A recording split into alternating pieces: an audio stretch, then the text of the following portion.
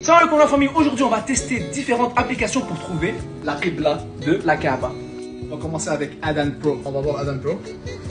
Ah ouais, pas tout à fait frère, monte la Kaaba. Ah ouais, il est off. Là on va faire Qibla. Ah ouais. Ah vas-y, proche. Muslim Pro, tout le monde connaît. Ah, regarde frère, regarde, monte la Kaaba. Eh, c'est nul bro.